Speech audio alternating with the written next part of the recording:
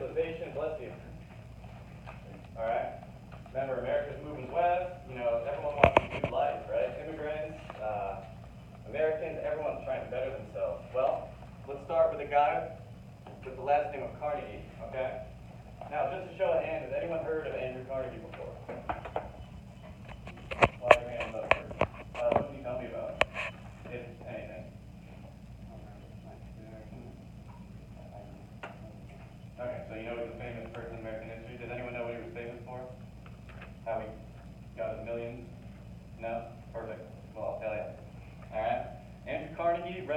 Revolutionized the steel industry by starting many new business practices.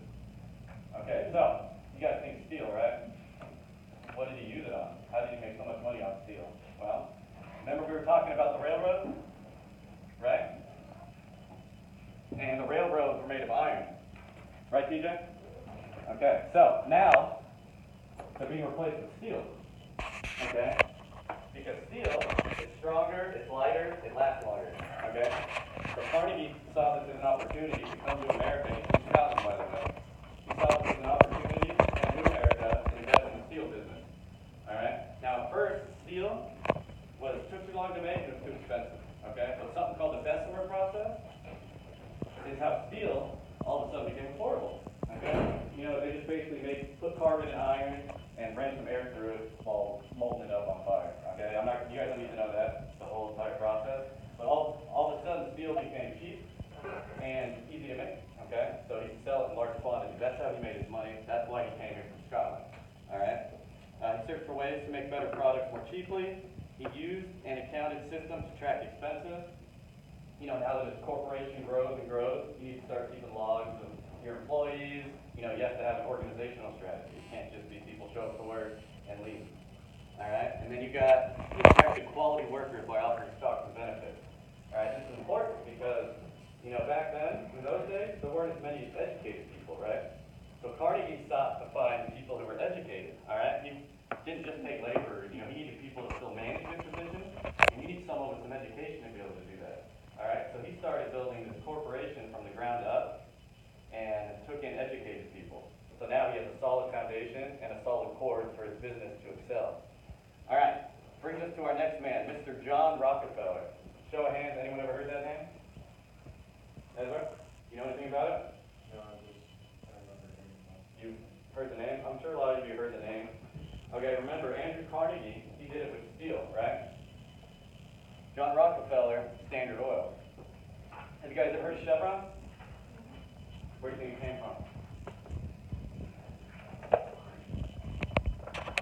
Right here. Doesn't that show you how long ago? So how have been, right? To still have a offshoot of a company that still exists to this very day, right? So, he used similar techniques as Carnegie, all right? I'm going to get into those right now. All right. I'm sure you guys might have heard of the board game Monopoly. TJ, listen up, please, okay? I'm sure you guys have heard of the board game Monopoly, right? Okay. Does anyone here know what the term monopoly means when it's talking about companies? Go ahead. Like to take over the whole system and own everything? Yes, you are 100% correct. Thank you, Don. Yes. Guys, monopoly is a key word from this, all right? You're going to have to know what this means. All right, monopoly. So, I'll give you an example on how they did it, how they took control of everything. John Rockefeller, for example. All right, let's say you have four gas stations next to each other. John Rockefeller owns three of them, and the other gas station is not part of his corporation, all right? He's an Argos, let's say. Okay? Well, let's say that guy's selling his gas for three bucks a gallon, and Rockefeller's selling his three gas stations for cheaper. The other gas station cannot sell it for cheaper, so what happens to him time? Bankrupt, bingo, yes. He eventually would go out of business. Now, the way John Rockefeller could do this is because he, he has so much oil that the railroads and shipping the oil, they'll give him a discount on shipping the oil. And in return, Rockefeller sells his oil to the railroads for cheaper. So they're both lowering prices to help them, which allows Rockefeller to sell oil he's about to go out business. John Rockefeller walks across the street and he says, Sorry, you're about to go out of business. Maybe I can help you out. How about I just buy your company and cut your losses? And the guy has no choice most of the time, right? So what just happened? Now John Rockefeller owns all four gas stations. Thus, like Cox said, he has what? He has a monopoly, right? He did that little by little and eventually got control of 90% of the oil industry. And it says right here, percent in eighteen seventy, by eighteen ninety, twenty years later, he owned almost every single oil rig in the United States. Pretty insane, right? Especially compared to nowadays. He also used trust agreements. A trust is basically other companies put their trust in him, alright?